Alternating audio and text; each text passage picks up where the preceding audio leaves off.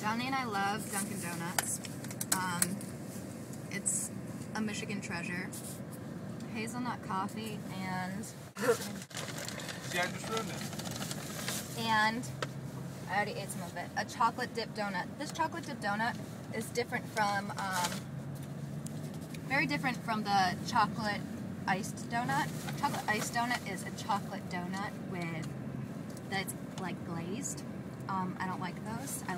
Chocolate dipped donut. Plain donut with icing on top. Delicious. We're going grocery shopping and uh, Johnny's mad that I am doing this right now, but it's all for you guys. Okay, love you. Cheers. Bye.